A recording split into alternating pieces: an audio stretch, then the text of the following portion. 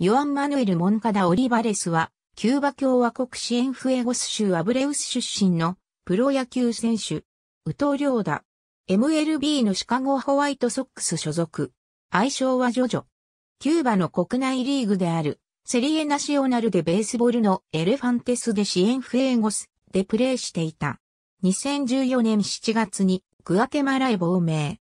キューバ人が他国への亡命目的で出国するためには、不正な手続きを踏むことが多いが、モンカダは、アルゼンチンとアメリカ合衆国の二重国籍を持つ女性と結婚し、妻との面会を理由に詐称を取得して、グアテマラに入国した。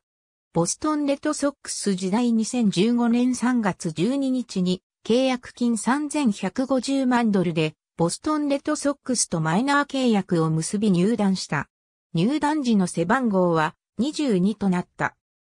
これまでキューバ人選手がアメリカでプロ野球選手となるためにはアメリカ財務省外国資産管理局の許可を得ることが必要だったが、この年の2月3日にプロ野球における規制が撤廃され、モンカダの契約は規制撤廃後初の契約となった。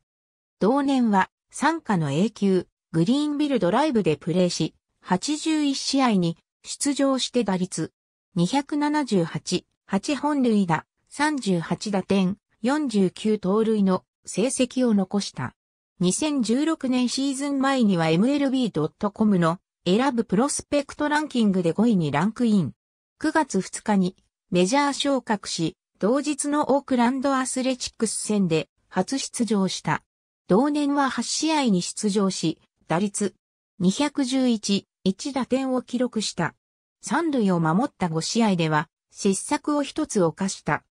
マイナーでは A プラス級と AA 級の2ランクで計106試合に出場し、打率294、15本塁打、62打点、45、盗塁という好成績を記録した。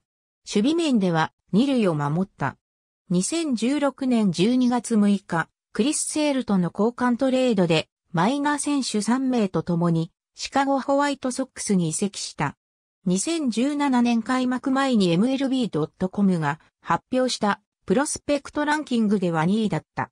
開幕はマイナーリーグで迎え、6月29日に同年のオールスターフューチャーズゲームの世界選抜に2年連続で選出された。7月19日にシカゴホワイトソックスの肖像類種のトッド・フレイジャーが移籍したことに伴いメジャーに昇格した。二塁手として起用され、8月25日のシカゴカブス戦でジェイク・アリエタからメジャー初ホームランを放つなど54試合に出場し、打率231、8本塁打、22打点、出塁率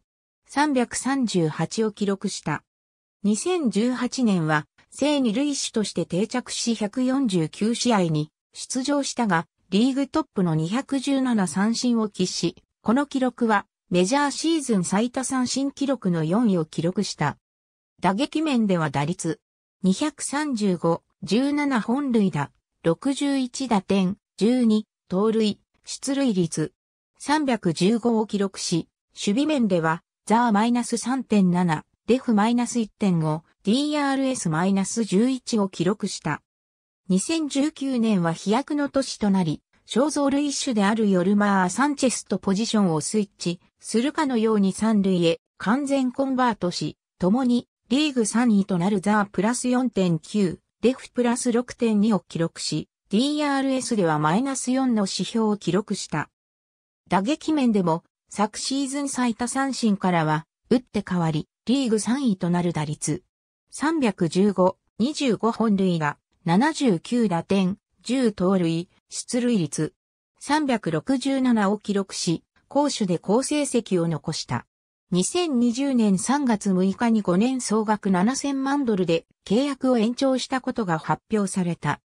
オプションとして MVP 投票の際の出来高、2025年シーズンの選択権を球団側が所持し、バイアウトの際には500万ドル支払われる。ありがとうございます。